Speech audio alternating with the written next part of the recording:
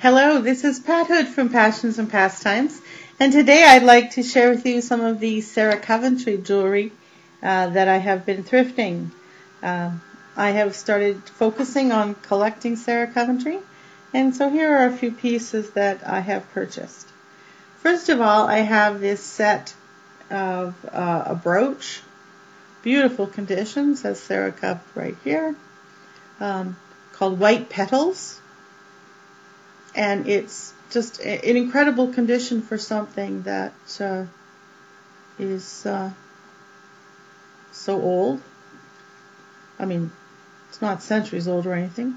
And then uh, with the brooch are the white petal earrings. Um, very wearable, very summery, but um, I could pull these off. And these are clip-on earrings. Not, uh, you know, a nice snap to them, but not uh, too tight and they are signed here on the uh, well, better put it right side up so you believe me. Signed here on the uh, back of the earring. So that's a, a beautiful set that um, went for an amazingly low price um, thanks to Kathy in West Virginia. Um, that and the shipping was so affordable um, uh, it, it, was a great, a great uh, purchase. Then I got um, a couple of Sarah Coventry uh, crosses. Um, they don't have the um, chains that go with them, but that's okay. Um, you know, this was a, an exploration purchase. I wasn't too sure. Um, and the first cross is um, a 1977 limited edition gold tone cross. I haven't tried to clean this or see if this is supposed to be a specific color, but the three pearls are there in the top. Um, very wearable cross. The chain just, just attaches here. And it's signed uh, limited edition 1977, copyright Sarah, here on the back. And with it, I purchased this cross. I loved the design of it. I thought it was amazing.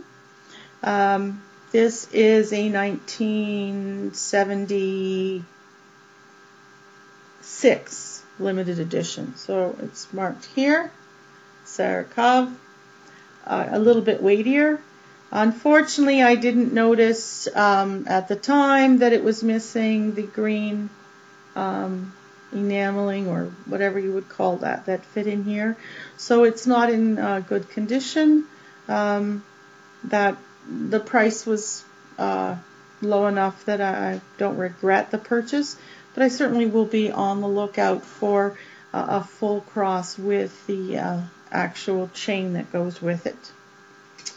And then as a bonus, the sender sent me this remembrance stick pin and I had uh, around the same time ordered the remembrance brooch from someone else in the US and the there was some problems with the shipping so the, the actual the purchase actually fell through. Um, but I have the um, the stick pin marked uh, C on the back and I know where I can get a uh, a brooch in excellent condition. So, and there's lots of them for sale uh, online. Um, because I had the stick pin and was expecting the brooch, I found a set of the remembrance earrings um, online and purchased those with uh, uh, excellent price and excellent shipping. And um, certainly would recommend uh, this um, this is Wayne Smith in Summit Hill, Pennsylvania that I got these from, and I got a few pieces at the same time. So there's the earrings. So I'm slowly getting remembrance um, set together. Then I was in Tweed, Ontario, and they have a lovely store called Used Again, and she has quite, Juanita is the owner, she has an amazing set of vintage everything.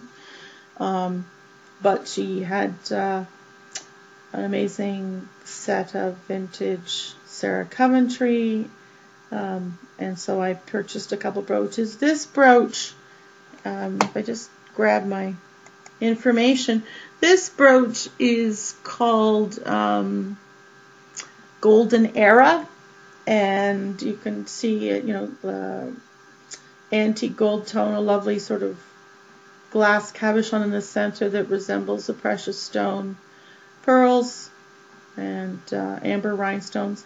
And it's marked on the back here, um, Sarah Coventry made in Canada, because this was a special piece made in Canada.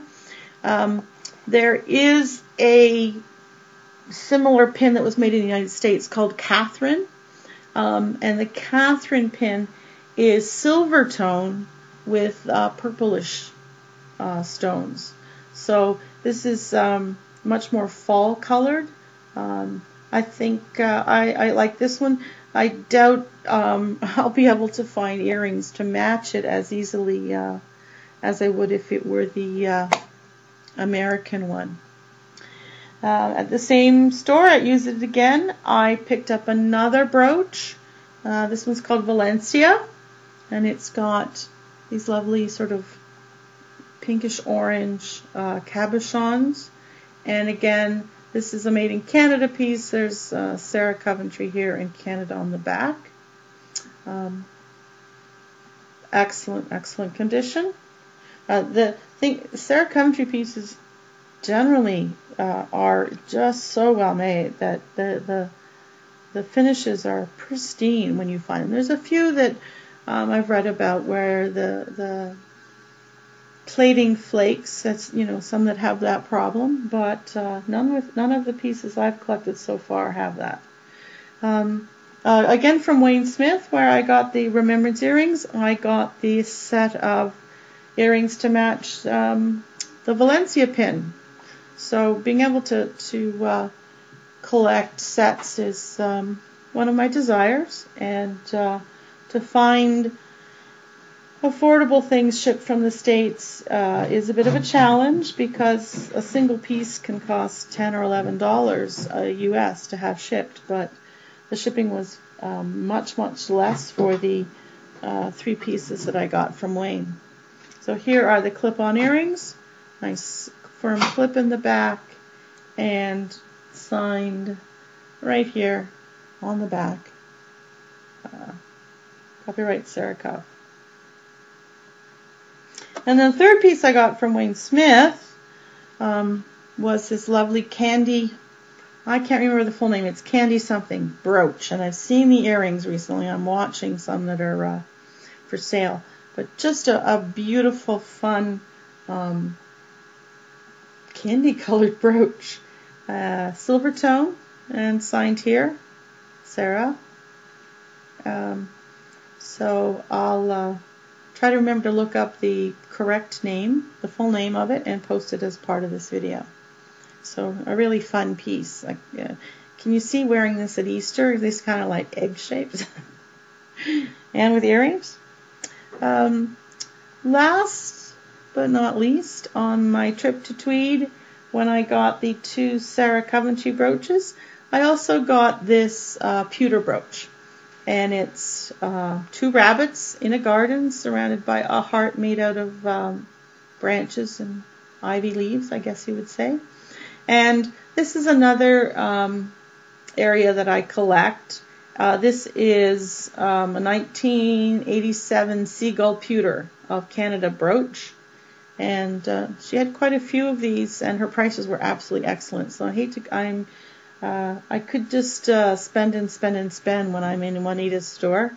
Um, luckily, uh, it's a three-hour drive, so I go um, a few times in the summer, and maybe uh, maybe I'll be able to get up there again before Thanksgiving. Um, so here's the other brooch that I bought at the same time. It's not Sarah Coventry, but um, I thought I'd include it in this um, in this lot.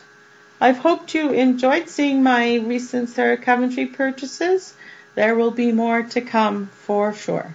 Thank you, uh, and I hope you continue to have a great day.